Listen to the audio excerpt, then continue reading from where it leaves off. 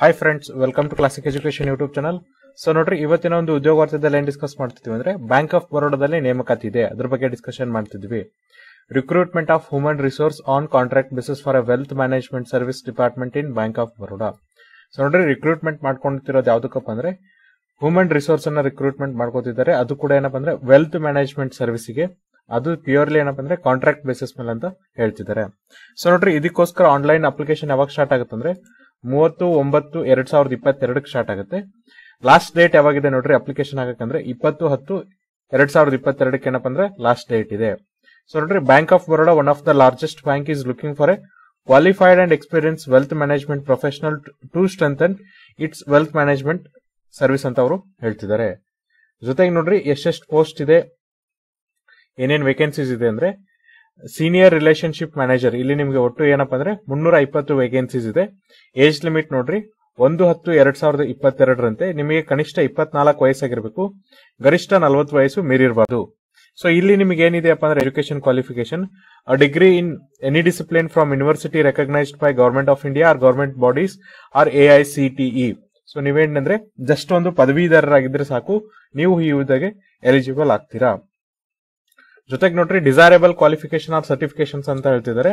ಅಂದ್ರೆ ನೀಡೆಡ್ ಏನಿದೆ ಅಂದ್ರೆ two years full time post graduate degree or diploma in management so ನೋಡ್ರಿ, ನೀವು ಎರಡು ವರ್ಷ ಏನಪ್ಪ ಅಂದ್ರೆ ಪೋಸ್ಟ್ ಗ್ರಾಜುಯೇಟ್ ಡಿಗ್ರಿ ಮ್ಯಾನೇಜ್ಮೆಂಟ್ ಅಲ್ಲಿ ಮಾಡಿರ್ಬೇಕು ಅಥವಾ ಡಿಪ್ಲೊಮಾನ ಮ್ಯಾನೇಜ್ಮೆಂಟ್ ಅಲ್ಲಿ ಮಾಡಿರ್ಬೇಕು.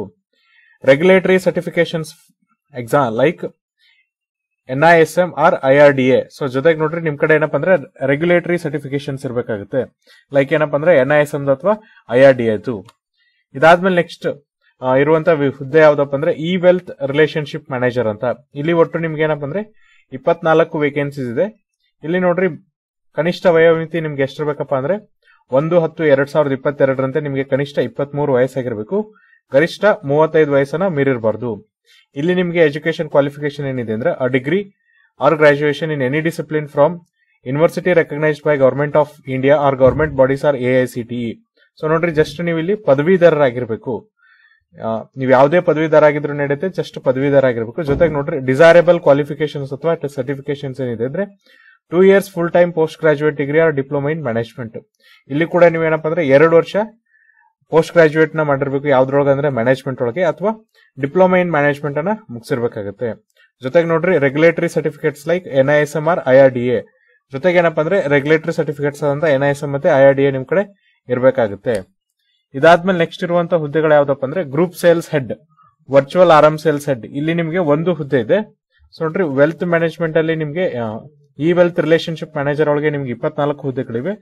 ಸೀನಿಯರ್ ರಿಲೇಶನ್ಶಿಪ್ ಮ್ಯಾನೇಜರ್ ಒಳಗೆ ನಿಮಗೆ ಮುನ್ನೂರ ಇಪ್ಪತ್ತು ಹುದ್ದೆಗಳಿವೆ. ಸೊ ಈ group sales head virtual R M sales head ಇಲ್ಲಿ ನಿಮಗೆ ಒಂದು ವೇಕೆನ್ಸೀಸ್ ಇದೆ. ಸೊ ನೋಡ್ರಿ, ಇಲ್ಲಿ ಒಂದು ಹತ್ತು ಎರಡ್ ಸಾವಿರದ ಇಪ್ಪತ್ತೆಂಟರಂತೆ. ಕನಿಷ್ಠ ವಯೋಮಿತಿ ಎಷ್ಟಿರ್ಬೇಕಪ್ಪ ಅಂದ್ರೆ ಮೂವತ್ತೊಂದು ವರ್ಷ. ಗರಿಷ್ಠ ವಯೋಮಿತಿ ಎಷ್ಟಿರ್ಬೇಕಂದ್ರೆ ನಲವತ್ತೈದು ವರ್ಷ. ಸೊ ಇಲ್ಲಿ ಎಜುಕೇಶನ್ ಕ್ವಾಲಿಫಿಕೇಶನ್ ಏನಿದೆ ಅಂದ್ರೆ degree in any discipline from recognised university or government bodies a degree in any discipline from a university recognized by the government of India or government bodies are AICTE. ಇಲ್ಲಿ ಕೂಡ ಏನಪ್ಪಾ ಅಂದ್ರೆ ನೀವು ಯಾವ್ದಾದ್ರೂ ಪದವೀಧರ ಆಗಿರ್ಬೇಕು ನೀವು ಇಲ್ಲಿ ಎಲಿಜಿಬಲ್ ಆಗ್ತೀರಾ.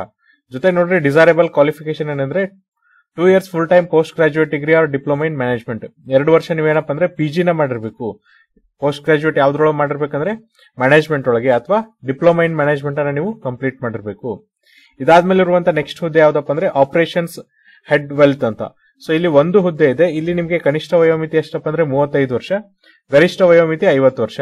ಸೊ ಇಲ್ಲಿ ಎಜುಕೇಶನ್ ಕ್ವಾಲಿಫಿಕೇಶನ್ ಏನಿದೆ ನೋಡ್ರಿ? Graduate from government recognised university or institution preference will be given to candidates having M B or equivalent degree from a reputed colleges so ಇಲ್ಲೇನಪ್ಪ ಅಂದ್ರೆ ಗ್ರಾಜ್ಯುಯೇಟ್ಸ್ ಯಾವ್ದಂದ್ರೆ ರೆಕಗ್ನೈಸ್ಡ್ ಯೂನಿವರ್ಸಿಟಿಯಿಂದ ಇರುವಂತಹ ಗ್ರಾಜುಯೇಟ್ಸ್ ಅಂದ್ರೆ ಪದವೀಧರಿಗೆ ಅವಕಾಶ ಇರುತ್ತೆ. ಜೊತೆಗೆ ನೋಡ್ರಿ, ಯಾವುದೇ ಪದವಿ ಆಗಿರ್ಬೋದು ಅವ್ರೇನಪ್ಪ ಅಂದ್ರೆ ಗೌರ್ಮೆಂಟ್ ರೆಕಗ್ನೈಸ್ಡ್ ಇನ್ಸ್ಟಿಟ್ಯೂಟ್ ಅಥವಾ ಯೂನಿವರ್ಸಿಟಿಯಿಂದ ಪಾಸ್ ಆಗಿರಬೇಕು. ಪ್ರಿಫರೆನ್ಸ್ ಜಾಸ್ತಿ ಯಾರಿಗೆ ಕೊಡ್ತಾರೆ ಅಂದ್ರೆ, ಯಾರೆಲ್ಲ ಎಂ ಬಿ ಎ ಡಿಗ್ರಿನ ಮಾಡಿರ್ತಾರೆ ರೆಪ್ಯೂಟೆಡ್ ಕಾಲೇಜಿಂದ ಅವ್ರಿಗೆ ಜಾಸ್ತಿ ಪ್ರಿಫರೆನ್ಸ್ ಅನ್ನ ಕೊಡ್ತಾರೆ. ಸೊ ನೋಡ್ರಿ, ಇಲ್ಲೇನಪ್ಪ ಅಂದ್ರೆ ಬ್ರಾಂಚ್ ವೈಸಸ್ ವೇಕೆನ್ಸೀಸ್ನ ಬ್ರೇಕ್ ಮಾಡ್ತಾ ಹೋಗಿದ್ದಾರೆ.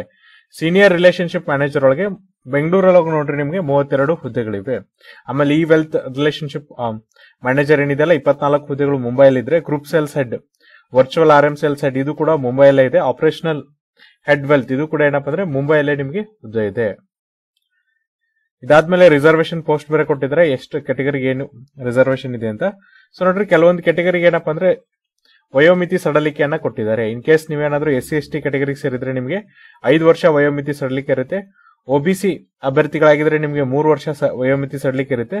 ವಿಕಲಚೇತನ ಅಭ್ಯರ್ಥಿಗಳಾಗಿದ್ರೆ ನಿಮಗೆ ಹತ್ತು ವರ್ಷ ವಯೋಮಿತಿ ಸಡಲಿಕೆ ಇರುತ್ತೆ. ಜೊತೆಗೆ ನೋಡ್ರಿ, ನೀವೇನಾದ್ರೂ ಎಕ್ಸ್ ಸರ್ವಿಸ್ ಮೆನ್ ಆಗಿದ್ರಿ ಕಮಿಷನ್ ಆಫೀಸರ್ಸ್ ಆಗಿದ್ರೆ ನಿಮಗೆ ಐದು ವರ್ಷ ವಯೋಮಿತಿ ಸಡಲಿಕೆ ಇರುತ್ತೆ. ಜೊತೆಗೆ ನೋಡ್ರಿ ರೆಮ್ಯುನರೇಷನ್ ಸಂಬಳ ಎಷ್ಟು ಕೊಡ್ತಾರೆ ಅಂದ್ರೆ remuneration offered will be on fixed salary basis depending upon the candidate qualification experience over all overall and last last salary of the candidate and market benchmark for the respective post. Apart from the fixed salary, selected candidates will be eligible for performance like variable pay, which will be over and above fixed salary but linked to the achievement of the specific target. So ನೋಡ್ರಿ ನಿಮ್ಗೆ ಸಂಬಳ ಹೆಂಗ್ ಕೊಡ್ತಾರೆ ಅಂದ್ರೆ fixed salary ಮೇಲೆ ಕೊಡ್ತಾರೆ but ಇದನ್ನ ಎಲ್ಲಿ ಡಿಸೈಡ್ ಮಾಡ್ತಾರೆ ಅಂದ್ರೆ ನಿಮ್ಮ ಇಂಟರ್ವ್ಯೂ ಮೇಲೆ ಡಿಸೈಡ್ ಮಾಡ್ತಾರೆ ಅಂದ್ರೆ ನಿಮ್ಮ ಕ್ವಾಲಿಫಿಕೇಶನ್ ಏನು ನಿಮ್ಮ ಎಕ್ಸ್ಪೀರಿಯನ್ಸ್ ಎಷ್ಟಿದೆ ಆಮೇಲೆ ಆ ಹುದ್ದೆಗೆ ನೀವು ಎಷ್ಟು ಸೂಟ್ ಮಾಡ್ತೀರಾ ಆಮೇಲೆ ಇದಕ್ಕಿಂತ ಮುಂಚೆ ನೀವು ಎಷ್ಟು ಸ್ಯಾಲರಿ ತಗೊಂಡಿದ್ದೀರಾ ಇದ್ರ ಜೊತೆಗೆ ನೋಡ್ರಿ ಮಾರ್ಕೆಟ್ ಅಲ್ಲಿ ಏನ್ ಬೆಂಚ್ ಮಾರ್ಕ್ ಇದೆ? ಈ ಹುದ್ದೆಗೆ ಈಗ ಮಾರ್ಕೆಟ್ ಅಲ್ಲಿ ಏನ್ ಪ್ರೈಸಸ್ ಕೊಡ್ತಾರಲ್ಲ, ಅದ್ರ ಮೇಲೆ ನಿಮ್ಮ ಸ್ಯಾಲರಿ ಏನಪ್ಪ ಅಂದ್ರೆ ಕೊಡ್ತಾರೆ. ಅಂದ್ರೆ ಆ ಬೆಂಚ್ ಮಾರ್ಕ್ಸ್ ಮೇಲೆ ನಿಮಗೆ ಡಿಸೈಡ್ ಮಾಡಿ ಸ್ಯಾಲರಿಯನ್ನ ಕೊಡ್ತಾರೆ.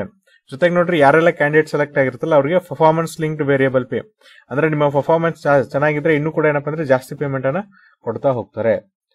ಸೊ ನೇಚರ್ ಆಫ್ ಎಂಪ್ಲಾಯ್ಮೆಂಟ್ ನೋಡ್ರಿ contractual engagement for a period of five years with periodic performance review so ಈ ಎಂಪ್ಲಾಯ್ಮೆಂಟ್ ಏನಪ್ಪ ಅಂದ್ರೆ ಐದು ವರ್ಷದವರೆಗೆ ಇರುತ್ತೆ. ಜೊತೆಗೆ ಪಿರಾಡಿಕ್ ಪರ್ಫಾರ್ಮೆನ್ಸ್ ರಿವ್ಯೂ ಇರೋದ್ರಿಂದ ನಿಮಗೆ ಮತ್ತೆ ಎಕ್ಸ್ಟೆಂಡ್ ಮಾಡ್ತಾ ಹೋಗ್ಬೋದು. ಸೆಲೆಕ್ಷನ್ ಪ್ರೊಸೆಸ್ ನೋಡ್ರಿ. Bank reserves the right to change cancel or any criteria method of the selection etcetera so ನೋಡ್ರಿ ಬ್ಯಾಂಕಿಗೆ ಏನಪ್ಪ ಅಂದ್ರೆ ಕೆಲವೊಂದಿಷ್ಟು ರೈಟ್ಸ್ ಇದೆ.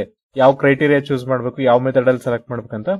Bank reserves its right to call the candidates in ratio as it sole discretion as per the bank recruitment so ನೋಡ್ರಿ, ಎಷ್ಟು ಕ್ಯಾಂಡಿಡೇಟ್ಸ್ನ interview ಕರಿಬೇಕು, ಯಾವ ರೇಷಿಯೋ ಕರಿಬೇಕು ಅನ್ನೋದು ಕೂಡ ಬ್ಯಾಂಕ್ ಡಿಸ್ಕ್ರಿಷನ್ ಪವರ್ ಇರುತ್ತೆ. Adequate candidates as decided by the bank will be short listed based on their qualification experience overall suitability in for interview so ನೋಡ್ರಿ, ಈ ಶಾರ್ಟ್ ಲಿಸ್ಟ್ ಅನ್ನ ಯಾವ ತರ ಮಾಡ್ತಾರೆ ಅಂದ್ರೆ ಇಂಟರ್ವ್ಯೂಗೆ ನಿಮ್ಮ ಕ್ವಾಲಿಫಿಕೇಶನ್ ಎಕ್ಸ್ಪೀರಿಯನ್ಸ್ ಎಲ್ಲ ನೋಡ್ಕೊಂಡು ಏನಪ್ಪ ಅಂದ್ರೆ ನಿಮ್ಮ ಇಂಟರ್ವ್ಯೂಗೆ ಶಾರ್ಟ್ ಲಿಸ್ಟ್ ಅನ್ನ ಮಾಡ್ತಾರೆ. Most suitable candidates will be called for the selection process GDPI or any other selection method or merely by applying. Being eligible for the post does not entitle to, entitle the candidate to be invited for the selection process. So ನೋಡ್ರಿ, ಯಾವ most suitable candidates ಇರ್ತಾರಲ್ಲ, ಅವ್ರಿಗೆ ಏನಪ್ಪ ಅಂದ್ರೆ selection process ಕರೀತಾರೆ. ಅದು G D ಆದ್ರೂ ಆಗಿರ್ಬೋದು ಗ್ರೂಪ್ ಡಿಸ್ಕಷನ್ ಆದ್ರೂ ಆಗಿರ್ಬೋದು, ಅಥವಾ ಪರ್ಸನಲ್ ಇಂಟರ್ವ್ಯೂ ಆಗಿರ್ಬೋದು, ಅಥವಾ ಎನಿ ಅದರ್ ಸೆಲೆಕ್ಷನ್ ಮೆಥಡ್ ಮೂಲಕ ನಿಮ್ಮ ಸೆಲೆಕ್ಟ್ ಅನ್ನ ಮಾಡ್ತಾರೆ. ಜಸ್ಟ್ ನೀವು ಅಪ್ಲಿಕೇಶನ್ ಹಾಕಿದ್ರಿ ಅಂತಂದ್ರೆ ನಿಮಗೆ ಸೆಲೆಕ್ಷನ್ ಪ್ರೊಸೆಸ್ಗೆ ಅವಕಾಶ ಇರಲ್ಲ ಅಂತ ಅವರು ಹೇಳ್ತಿದ್ದಾರೆ. In case more than one candidate scores a cutoff marks, such candidate will be ranked according to their age in discreting in descending order. So ನೋಡ್ರಿ ಈಗ ಇಬ್ರಿಗೂ ಏನಪ್ಪಾ ಅಂದ್ರೆ ಒಂದೇ ತರನಾದಂತ ಮಾರ್ಕ್ಸ್ ಬಂದ್ರೆ ಡಿಸೆಂಡಿಂಗ್ ಆರ್ಡರ್ ಅಂದ್ರೆ ಇಳಿಕೆ ಕ್ರಮದಲ್ಲಿ ಏನಪ್ಪಾ ಅಂದ್ರೆ ನಿಮಗೆ ನಿಮ್ಮ ಏಜ್ನ ಇಳಿಕೆ ಕ್ರಮದಲ್ಲಿ ಏನಪ್ಪಾ ಅಂದ್ರೆ ನಿಮಗೆ ರ್ಯಾಂಕಿಂಗ್ ಅನ್ನ ಕೊಡ್ತಾರೆ. Minimum qualifying marks for unreserved economically weaker section candidate shall be sixty percent of the marks for S C S T OBC PW D candidates the same shall be 55% of the marks. However, the bank reserves the right to modify the minimum qualifying marks at any stage.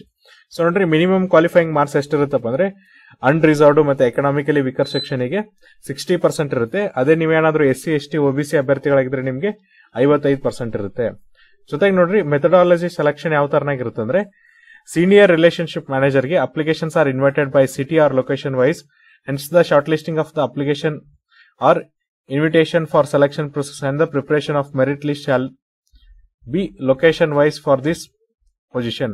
So ನೋಡ್ರಿ, ಇಲ್ಲಿ ಏನಪ್ಪ ಅಂದ್ರೆ senior relationship officer ಏನಪ್ಪ ಅಂದ್ರೆ ಅಪ್ಲಿಕೇಶನ್ಸ್ನ city wise location wise invite ಮಾಡೋದ್ರಿಂದ application short list ಅನ್ನು ಕೂಡ ಏನಪ್ಪ ಅಂದ್ರೆ, ಅದೇ ತರನ ಮಾಡ್ತಾರೆ. ಇನ್ ಕೇಸ್ ಈ ವೆಲ್ತ್ ರಿಲೇಶನ್ಶಿಪ್ ಮ್ಯಾನೇಜರ್ ಏನಪ್ಪ ಅಂದ್ರೆ ಆಲ್ ಇಂಡಿಯಾ ಬೇಸಿಸ್ ಮಾಡಿದ್ರೆ ಗ್ರೂಪ್ ಸೇಲ್ಸ್ ಹೆಡ್ ಏನ್ ಮಾಡ್ತಾರೆ ಅಂದ್ರೆ, ಅದಕ್ಕೂ ಕೂಡ ಆಲ್ ಇಂಡಿಯಾ ಬೇಸಿಸ್ ಮಾಡ್ತಾರೆ. ಆಪರೇಷನಲ್ ಹೆಡ್ ವಾಶ್ಗೂ ಕೂಡ ಏನಪ್ಪ ಅಂದ್ರೆ ಆಲ್ ಇಂಡಿಯಾ ಬೇಸಿಸ್ ಮೇಲೆ ಮಾಡಿದ್ರೆ ಈ ಸೀನಿಯರ್ ರಿಲೇಶನ್ಶಿಪ್ ಮ್ಯಾನೇಜರ್ ಮಾತ್ರ ಏನಪ್ಪ ಅಂದ್ರೆ ಸಿಟಿ ವೈಸು ಲೊಕೇಶನ್ಸ್ ವೈಸ್ ಏನಪ್ಪ ಅಂದ್ರೆ ಅವರಿಗೆ ಶಾರ್ಟ್ ಲಿಸ್ಟ್ ಅನ್ನ ಮಾಡ್ತಾರೆ. ಸೊ ನೋಡ್ರಿ, ಹಾಗಾದ್ರೆ ಅಪ್ಲಿಕೇಶನ್ಸ್ ಯಾವ ತರನ ಹಾಕೋದಂದ್ರೆ candidates are required to have valid personal email I D and contact number so ನೋಡ್ರಿ, ಇಲ್ಲಿ ಕ್ಯಾಂಡಿಡೇಟ್ಸ್ ಕಡೆ ಏನಿರ್ಬೇಕಾಗತ್ತೆ ಅಂದ್ರೆ ಒಂದು ಪರ್ಸನಲ್ ಇಮೇಲ್ ಐ ಡಿ ಮತ್ತೆ ಕಾಂಟ್ಯಾಕ್ಟ್ ನಂಬರ್ ಇರಬೇಕಾಗುತ್ತೆ. It should be kept active till the completion of this recruitment project Bank may send call letter for GD or interview and or selection process on the registered email ID in case a candidate doesn't have a valid email personal ID. Valid personal email ID he or she should create his or her new email I D before applying the online so ನೋಡ್ರಿ, ನೀವು ಏನಿರ್ಬೇಕಪ್ಪ ಅಂದ್ರೆ ಒಂದು valid email I D ಇರಬೇಕು. ಅದಕ್ಕೆ ಏನ್ ಮಾಡ್ತಾರೆ ಅಂದ್ರೆ bank ಅವರು ಕಾಲ್ ಲೆಟರ್ ಕಳಿಸ್ತಾರೆ.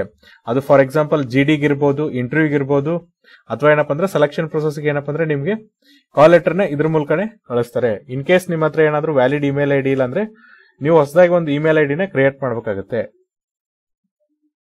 ಸೊ ನೋಡ್ರಿ, ಯಾವ ತರನಾಗಿ ಆನ್ಲೈನ್ ಅಪ್ಲಿಕೇಶನ್ಸ್ ಹಾಕ್ಬೇಕಂದ್ರೆ candidate should visit the bank's website that is W W dot Bank of Baroda dot CO dot in slash career dot S T M L and register themselves online in appropriate online application format available through the link enabled on the career page, current opportunities on the bank's website and pay the application fees using debit card, credit card, internet banking.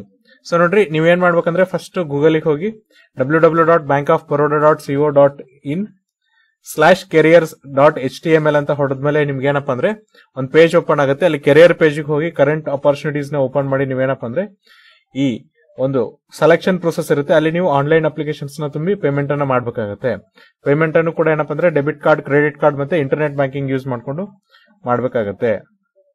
So ನೋಡ್ರಿ application fees ಎಷ್ಟಿದೆಯಪ್ಪ ಅಂದ್ರೆ so application fees and intimation charges non refundable R S six hundred rupees for general OBC R S hundred rupees non for C P W D and women candidates so ನೋಡ್ರಿ, ನಿಮಗೆ application fees plus intimation charge ಅಂತ ಎರಡು ಇರುತ್ತೆ. ಇಲ್ಲಿ ನೀವೇನಾದ್ರೂ general ಮತ್ತೆ OBC ಅಭ್ಯರ್ಥಿಗಳಾಗಿದ್ರೆ ನಿಮಗೆ ಆರ್ನೂರು ರೂಪಾಯಿ ಏನಪ್ಪ ಅಂದ್ರೆ ಅಪ್ಲಿಕೇಶನ್ ಪ್ಲಸ್ ಇಂಟಿಮೇಷನ್ ಚಾರ್ಜ್ ಇದ್ರೆ. ನೀವೇನಾದ್ರೂ ಎಸ್ ಸಿ ಎಸ್ ಟಿ ಮತ್ತೆ ವಿಕಲಚೇತನ ಅಭ್ಯರ್ಥಿಗಳು ಮತ್ತೆ ಮಹಿಳಾ ಅಭ್ಯರ್ಥಿಗಳಾಗಿದ್ರೆ ನಿಮ್ಗೆ ಏನಪ್ಪ ಅಂದ್ರೆ ನೂರು ರೂಪಾಯಿ ಇಂಟಿಮೇಷನ್ ಚಾರ್ಜ್ ಮಾತ್ರ ಇರುತ್ತೆ. Bank is not responsible if any of the candidates makes more than one payments and no request for the refund of fees shall be entertained so ನೋಡ್ರಿ ಇನ್ ಕೇಸ್ ನೀವು ಏನಾದ್ರೂ ಎರಡರಿಂದ ಮೂರು ಪೇಮೆಂಟ್ ಮಾಡಿದ್ರಿ, ಒಂದಕ್ಕಿಂತ ಹೆಚ್ಚಿಗೆ ಪೇಮೆಂಟ್ ಅನ್ನ ಮಾಡಿದ್ರು, ಯಾವುದೇ ತರನಾಗಿ ನಿಮ್ಗೆ ಏನಪ್ಪ ಅಂದ್ರೆ ಅದು ಎಕ್ಸ್ಟ್ರಾ ಪೇಮೆಂಟ್ ಅನ್ನ ಅವರು ರಿಫಂಡ್ ಮಾಡಲ್ಲ ಅಂತ ಅವರು ಹೇಳ್ತಿದ್ದಾರೆ. ನೋಡ್ರಿ ಜನರಲ್ ಇನ್ಸ್ಟ್ರಕ್ಷನ್ಸ್ ಕೊಟ್ಟಿದ್ದಾರೆ, ಆಮೇಲೆ ಅನೌನ್ಸ್ಮೆಂಟ್ ಅನ್ನು ಕೊಟ್ಟಿದ್ದಾರೆ. ಹಾಗಾಗಿ ಒಂದ್ಸರಿ ಓದ್ಕೊಂಡ್ಬಿಡ್ರಿ. ಸೊ ಇದು ಏನಪ್ಪ ಅಂದ್ರೆ ಇವತ್ತಿನ ಉದ್ಯೋಗ ವಾರ್ತೆ. ಇನ್ ಕೇಸ್ ನಿಮ್ಗೆ ಇದರಲ್ಲಿ ಏನಾದರೂ ಡೌಟ್ ಇದ್ರೆ ನಾವು ನಮ್ಮ ಡಿಸ್ಕ್ರಿಪ್ಷನ್ ಬಾಕ್ಸ್ ಅಲ್ಲಿ official P D F link ಅನ್ನ ಕೊಡ್ತೀವಿ. ಆ ಲಿಂಕ್ ಅನ್ನ ಕ್ಲಿಕ್ ಮಾಡಿದ್ರೆ ನಿಮಗೆ entire P D F download ಆಗುತ್ತೆ. ಅಲ್ಲಿ ನೀವು ಏನ್ ಮಾಡ್ಬೋದಪ್ಪ ಅಂದ್ರೆ ನಿಮ್ಮ ಡೌಟ್ಸ್ನ ಸಾಲ್ವ್ ಮಾಡಬಹುದು ನಾಳೆ ಮತ್ತೊಂದು ರಿಕ್ರೂಟ್ಮೆಂಟ್ ಬಗ್ಗೆ ಡಿಸ್ಕಸ್ ಮಾಡೋಣ. ಅಲ್ಲಿವರೆಗೂ ನೋಡ್ತಾ ಇರಿ Classic Education YouTube channel thank you